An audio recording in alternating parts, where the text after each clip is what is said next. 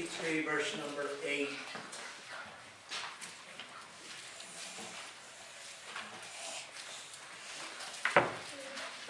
This scripture was made real to me a number of years ago. He said, Behold, I go forward, but he's not there. And backward, but I cannot perceive him. I can't see him. On the left hand, where he doth work, but I cannot behold him. He hides himself on the right hand, that I cannot see him. Now, this sort of connects with the message this morning because he said, I heard from the ear, but after what I've been through, now I see. But here in the 23rd chapter, he said, I can't see him, but he said, but he knows the way that I can. When he has tried me, I shall come forth as gold. In my Facebook profile, every once in a while I'll, I'll put a scripture, and I, and I put this portion of scripture in there, and I just explained a little bit, and several people, my sister Hilda for one, came on and uh, said that she appreciated it. But then after it, I put a footnote even though you don't know and whatever, and what Job went through. But I said, notice the first two verses, the first two, first three words of verse 10, but he knows. But he knows. That's power. I'm confused, but he knows. I've got burdens, but he knows. I don't know which way out, but he knows. You can run with that. Amen? I thank you tonight, Lord, for this opportunity of coming together in prayer. Lord, I sensed your presence before even coming here. That as I lay on that old cement and begin to seek your face, I sense the nearness of the Holy Ghost and what you were ready to do for this people. We are not going to doubt. We're not going to stagger in unbelief. But we are going to stand firm in Jesus' name and believe that God is going to do it. The Bible said, it shall come to pass. Hallelujah. Hallelujah. I pray that your word will penetrate the depth of our soul tonight and we will walk on it here with not just the revelation of God, but also an understanding of faith in God.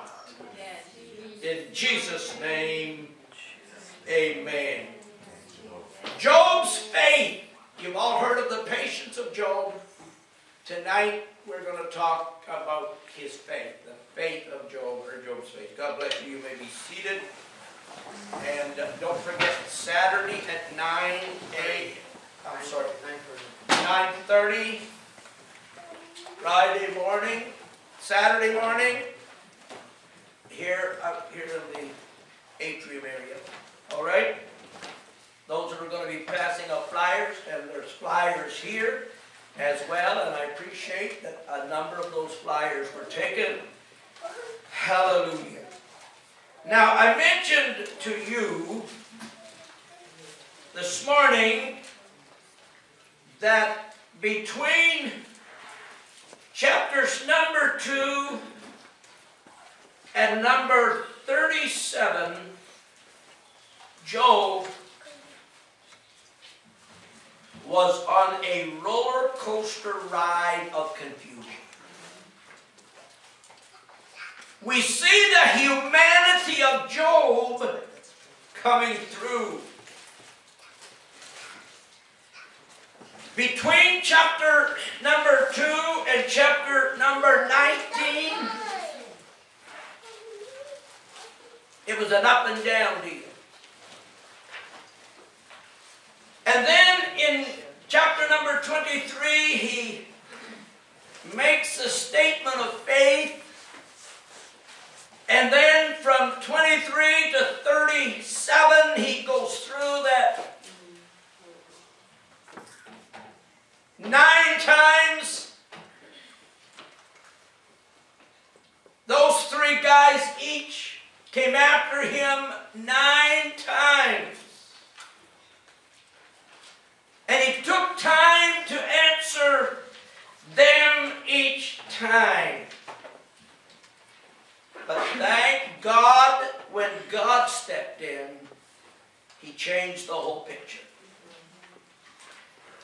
In uh, chapter number 19, he made a tremendous statement of faith.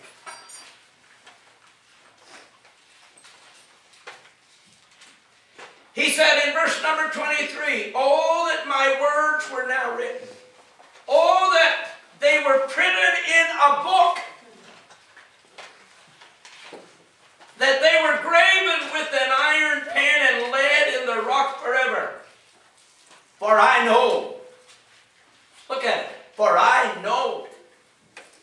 In 23, chapter 23 said he knows. But in verse in chapter number 19, but I know that my Redeemer lives.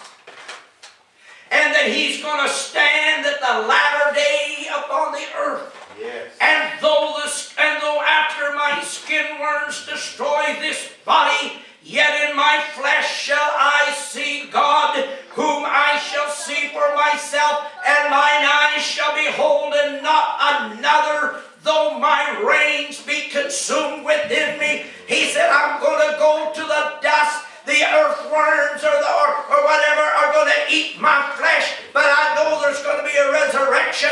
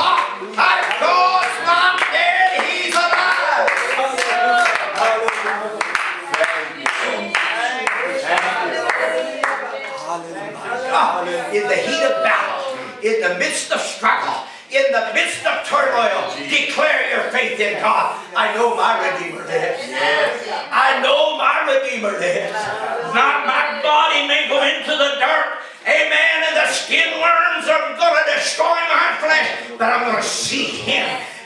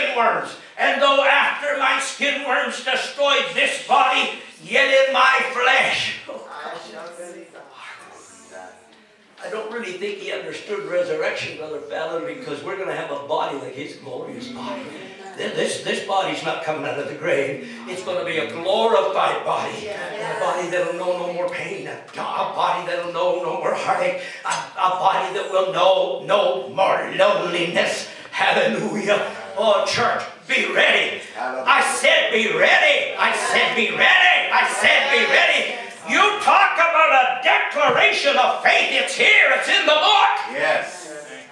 Thank you, Lord.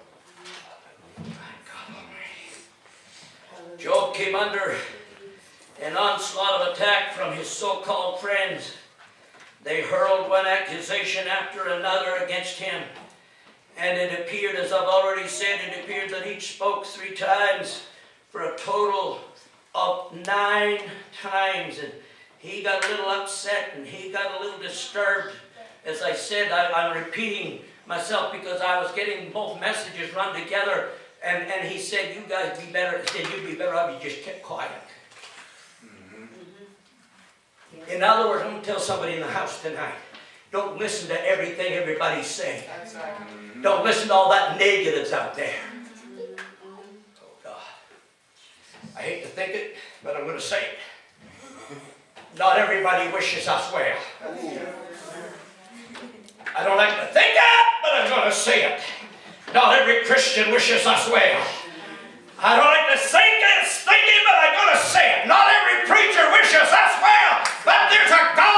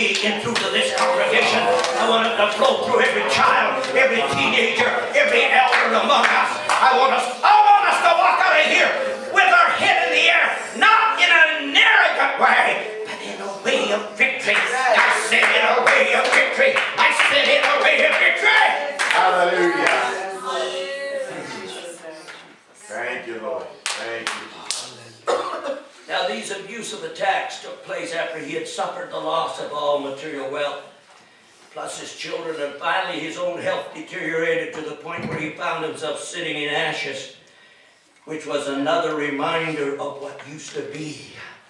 As ashes are powdery residue, or is a powdery residue of what used to be. I've never seen it like that, brother Fallon, but he sat in ashes. They may have been the ashes of his own buildings. They may have been the ashes of his own home. And every place Job looked, it reminded him of what he did have.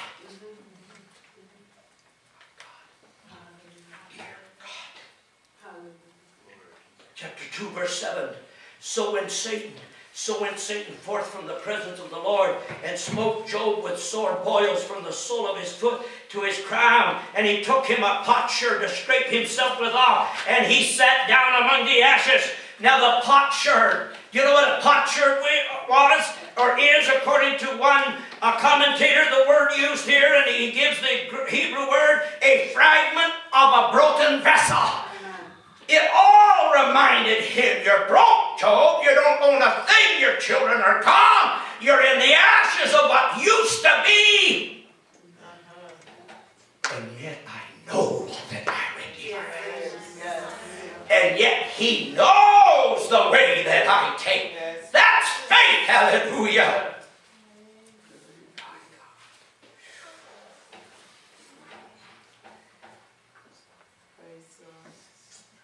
Something else to think about. That shard may have been a broken piece of pottery that once graced his table. Everything, my brother, everything to remind him of what he used to have. And boy, if this, this is the way the enemy would like to tear you and me down, especially if, we, if things, if we lose some things, he'll remind us of what used to be.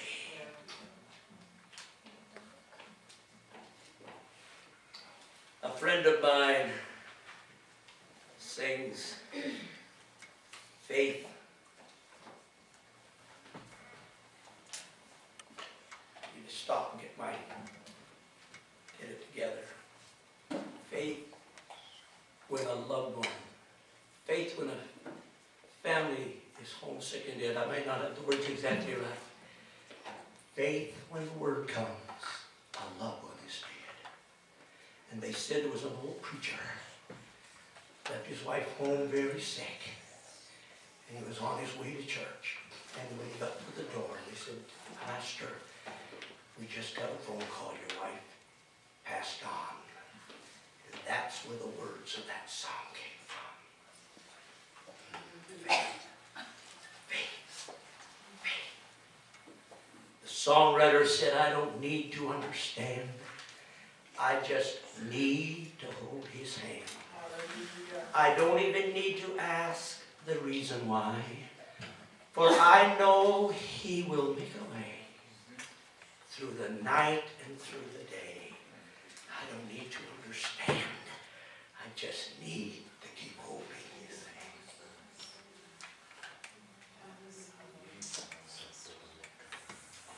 And my friend, I'm sure some of you have already faced it. There will be things in life when nothing makes sense. But you keep holding on to Jesus. Oh, I'll keep holding to those nails. For I know he'll make a way through the night and through the day. So here he is. Nothing, nothing could be more strong. Nothing rather could more strongly. Denote the greatness of the calamity than for a man of wealth, honor, and distinction to sit down in the ashes and to take a piece of broken earthenware and begin to scrape his body covered with undressed and most painful sores. It does not appear that anything was done to heal him or any kind kindness shown in taking care of his disease. That's what Mr. Barnes' notes has to say. Have you ever seen an open ulcer in somebody's body? I've known they, the ulcer was so putrefied. He was covered. And, and don't pass out on me. But he scraped that old bloody, gooey mess. Pray for Sister Joyce.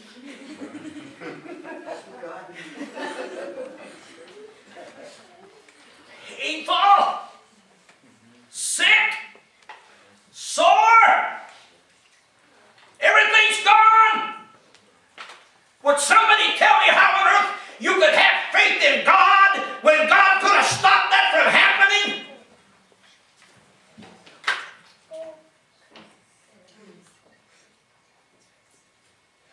Job 2 and 9.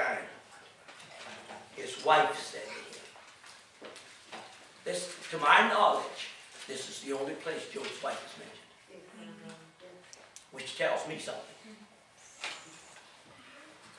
She said, Are you still trying to be godly when God has done all this to you? That's the new, that's the Living Bible translation.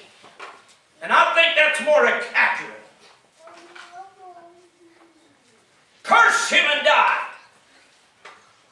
But he replied, You talk like some heathen woman. And the commentator said that's exactly the way the heathen taught. So I don't even think she had faith in God. He had faith alone.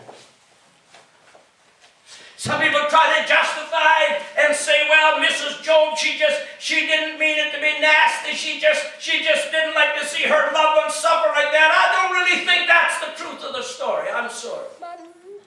And this doesn't just make for good preaching. What? He's still answering. What? Shall we receive only pleasant things from the hand of God and never anything unpleasant? So in all this, Job said nothing wrong. Brother, his faith was intact. His faith was strong in the midst of a body that was bleeding, in the midst of oozing, putrefying sores. His faith said, Amen. I came with nothing. I'm going to go back out with nothing. I'm not about to curse God. I'm not about to charge God foolishly. I know that my Redeemer's living. Hallelujah.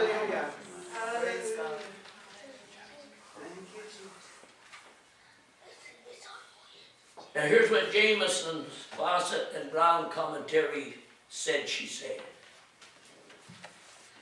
He said, she said, bless God you may, you must die. She ironically tells him. Go on oh, blessing God, and all you get for it is dying. I don't want to paint her as a bad woman, but I can't paint her as a good woman. Because there's no indication. It's never mentioned. It was Job that offered the sacrifices. I want to read some more. What experience of life and insight the writer manifests in introducing Job's wife as the one mocking and opposing his constant piety Job has lost his children, but this wife he has retained, for he needed not to be tried by losing her. He was proved sufficiently by having her. She is further on once She's further on once referred to, but even then not to her advantage. It was not a positive thing that they said about her. Why, asks Chrysostom, did the devil leave him in this wife? Now, I'm not against women. My mother was a woman. and my wife is every bit a woman. And so is your mother. But he's saying, why did the devil leave him this wife? Look at this. Because he thought her a good scourge, by which to plague him more acutely than by any other means. He is saying, as far as he was concerned, she was left there to try him further.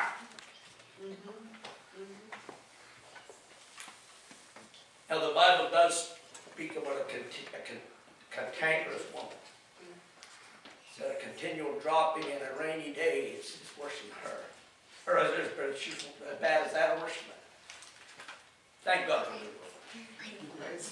I said, thank God for good And I want to tell you tonight, we have some of the best women in the world. And I want to tell you something else. When you dress like a woman and you look like a woman and you talk like a woman, you act like a woman, you're a blessing to the kingdom of God. I'm going to go a little further. I haven't said it yet, but you don't need all of this external stuff.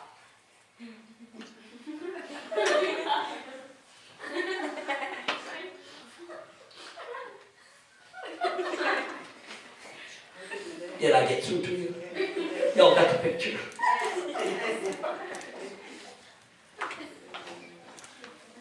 Painted toenails, chains around their ankles, chains around their wrists, chains around their neck.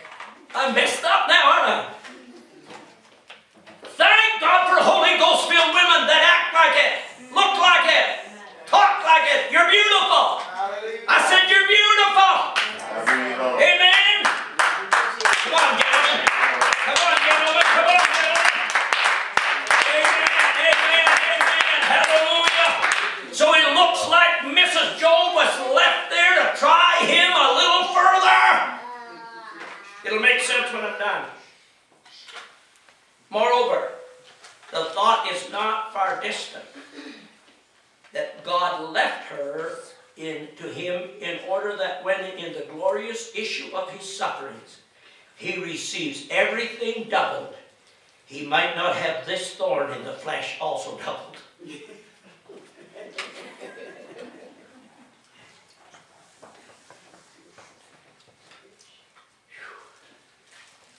I have a feeling that if Mrs. Right now, she might be in front of a firing squad. Makes sense. The God who could have prevented these tragic events from occurring allowed Satan to make his attacks against Job without letting him know the reason why. And that's what's tough. That's what Job, Job, Job was confused. Job couldn't understand. He said, God, if you love me, how come? And you read the book of Job. Job sort of charged God in some ways, or at least and I'm not about to knock Job any more than I'm going to knock Peter that sunk in the water because Peter had more guts than a lot of people. At least he get out of the boat. Give me a big smile and a big amen and say, Pastor, I'm glad it was him that knocked me in the boat. because I can't float. and without him, I can't swim.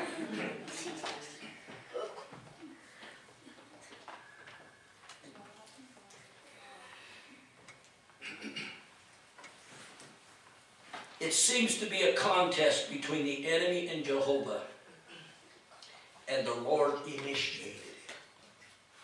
You go back to the first chapter, the devil didn't challenge the Lord. He came with the sons of God, and, and, and the Lord said, Where are you been? He said, oh, Up and down, through the earth. Now, he didn't tell the real truth because the New Testament unveiled, un, uh, revealed him as the one who goes about as a roaring lion seeking whom he may devour. He's the same old devil. He didn't change from Genesis back to the New Testament. He just thought he had himself concealed, but Jesus became his undoing. Hallelujah. I said, Jesus became his undoing. Job 1 and 8. Then the Lord asked Satan, Have you noticed my servant Job? He's the finest man in all the earth, a good man who fears God and will, and will have nothing to do with evil. Job 2 and 3. Well, second trip. Well, have you noticed my servant Job? The Lord asked. He is the finest man in all the earth, a good man who fears God and turns away from all evil. And he has kept his faith in me despite the fact that you persuaded me to let you harm him without any cause. But he didn't tell Job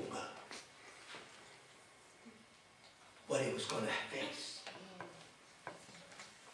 You know, how many how many remember now this this would have to be in my generation the old Laurel and Hardy movies. Well, that's a fine mess you got me into. And that's what Job could have said to the Lord, well, that's a fine mess you got me into. If, if you'd have just, if you would have given me an inkling, I'd have taken it, but I'm going to tell somebody tonight, sometimes God leaves us to fight on our own. Oh, he's there.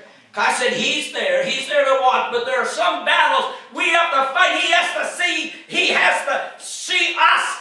And this is how we know that we can do it when God stands somewhere aside and just lets us fight.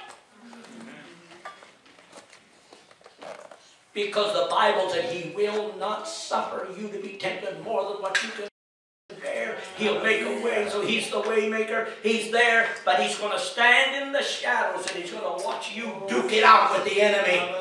Hallelujah. Amen. Because Satan said this Job served God for not. He's serving you for what he gets out of you. He's serving you because you put a hedge about him. He's serving, and somebody said the word hedge means angels. He said he's serving you because you've got him crowded in and protected. You pull one of those angels aside. And he said, okay, I'll do it, but you're not going to touch his life. Hallelujah. Chapter number 23. I'm coming to a close in about coffee time. I go forward, but he's not there. And backward. I want you to notice this. I go forward, but he's not there. And backward, but I cannot see him. The Living Bible says, I, but I search in vain. I seek him here, I seek him there, and cannot find him. But he said, I go forward and I go backward. Now listen to me. And you're doing such a good job The only way to go forward is to release the past.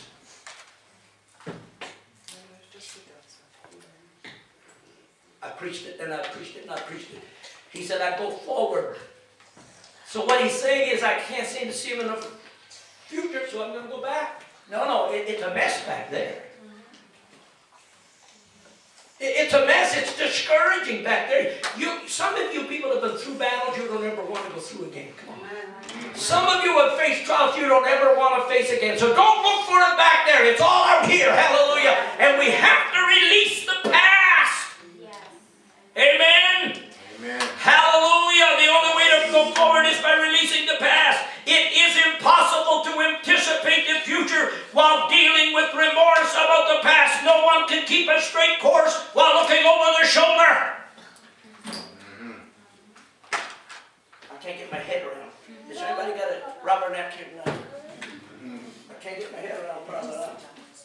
I was walking down the street one day when I was a little girl. I mean, when I was a little boy. And I walked right into a telephone pole. Because I was looking way over here somewhere. That wakes you up. Sorry about that, Sister And the telephone pole didn't budge. And when I almost hit the ground, it didn't even reach down to pick me up. You can't go forward by looking backward. You need to keep your eyes straight ahead.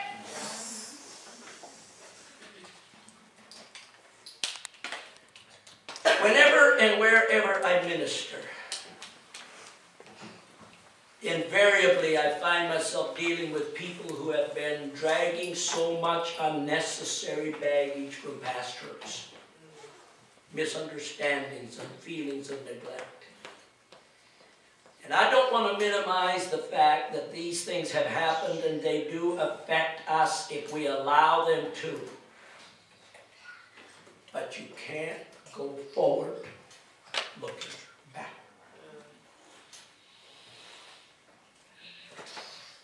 Don't ever forget that it was for this reason that Lot's wife didn't make it all the way out of Sodom. Genesis 19 and 26 said she looked back. Luke 17 and 32 said, Don't forget her. Keep your eyes on the goal. Not even on this level sometimes.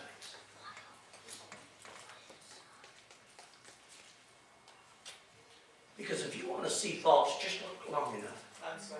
Mm-hmm. Amen. Amen?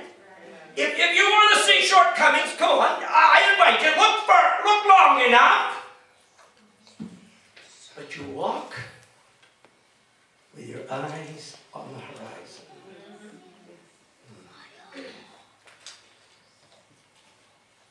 Job displayed a strong faith in God when he declared that fact, he declared that although he might not find God because of all the setbacks he faced in the past, he was confident of this one thing.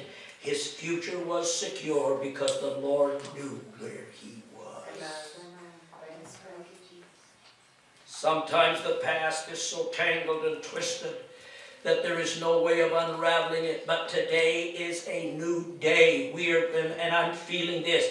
We are going to release the past and focus on the God of the future.